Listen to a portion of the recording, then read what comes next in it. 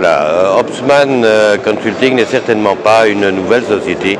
Nous sommes implantés euh, en Europe depuis plus de 10 ans, euh, avec le siège en Belgique et un siège au Luxembourg.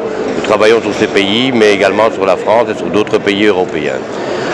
deux axes principaux pour Opsman Consulting.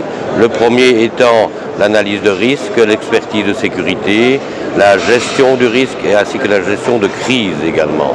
Deuxième axe, c'est la formation. La formation principalement en sécurité, orientée autant vers l'industrie que vers l'institutionnel, mais également vers l'hôtellerie. Pourquoi sommes-nous venus après Ventica? Il y a euh, un an déjà, mon collègue est venu, nous avons pris un stand et nous avons été satisfaits des contacts. Après, euh, nous avons eu l'occasion de participer à la mission économique princière euh, où nous avons encore amélioré ces contacts et la décision a été prise d'ouvrir la société au Maroc.